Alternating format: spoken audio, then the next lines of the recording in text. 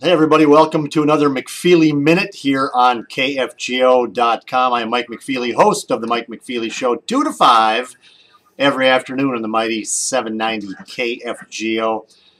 Does anybody else feel a little uncomfortable with the way that the Lynn Dorn situation was resolved at North Dakota State University?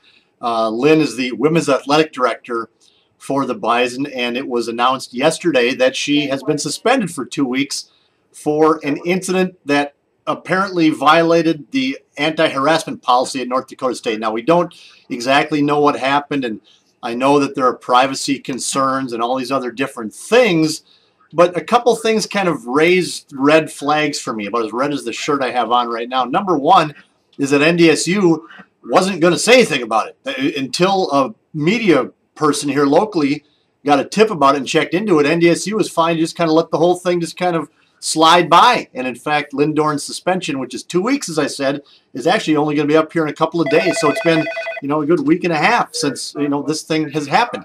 The second thing is, I'm kind of concerned about what exactly did happen. You know, I think we know that it was some sort of anti-harassment policy that she violated, but don't we need to know more? It's a public university. It's taxpayer dollars that are concerned here. Uh, uh, what if it was something very heinous?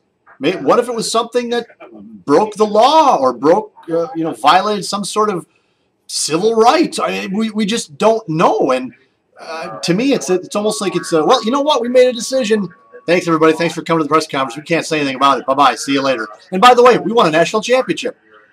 To me, it, there just seems to need to be more information made public, and it would help Lynn it would. It would help her because people would stop talking about it. People would stop wondering what exactly is going on. I think it would serve everybody's purpose if North Dakota State and Lynn Dorn could come more clean, I think, than they've come in this case. What do you think? You know what? Call me, 237-594-800, 880-5346, and let's talk about it on the Mike McFeely Show.